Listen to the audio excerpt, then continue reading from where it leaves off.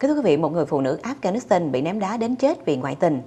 Tổng thống Afghanistan ra lệnh điều tra vụ một phụ nữ trẻ bị ném đá đến chết trong vùng kiểm soát của phe Taliban vì bị cáo buộc ngoại tình, một hình phạt tàn bạo khiến cho cả nước phẫn nộ. Tổng thống Ashraf Ghani gọi vụ giết người này là một hành động phạm tội và phi Hồi giáo, theo thông báo của văn phòng Tổng thống.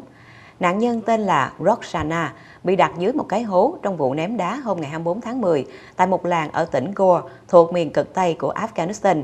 Người phát ngôn của tỉnh trưởng ông Abdul hay Katabi nói, giới chức này cho biết cô Roxana bị các phần tử hiếu chiến bắt sau khi cô bỏ nhà đi theo bạn trai 19 tuổi. Taliban đã xử hai người tại một tòa án Hồi giáo và kết tội hai người đã quan hệ tình dục. Ném đá là bất hợp pháp theo hiến pháp của Afghanistan.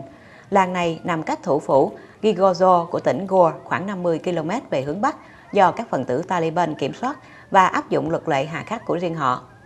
Trong đoạn video được cố tình đưa lên mạng Internet, chiếu cảnh khoảng 5-6 người đàn ông đứng quanh và ném đá người phụ nữ bị cột ở hố nhỏ, trong khi một đám đông nhiều người đàn ông hơn ngồi gần đó xem. Video không được kiểm chứng độc lập về tính xác thực. Ném đá được cho phép như là một hình phạt theo luật Hồi giáo truyền thống hay còn gọi là luật Sharia. Ném đá là bất thường nhưng không phải không có ở Afghanistan, nơi phụ nữ thường là nạn nhân.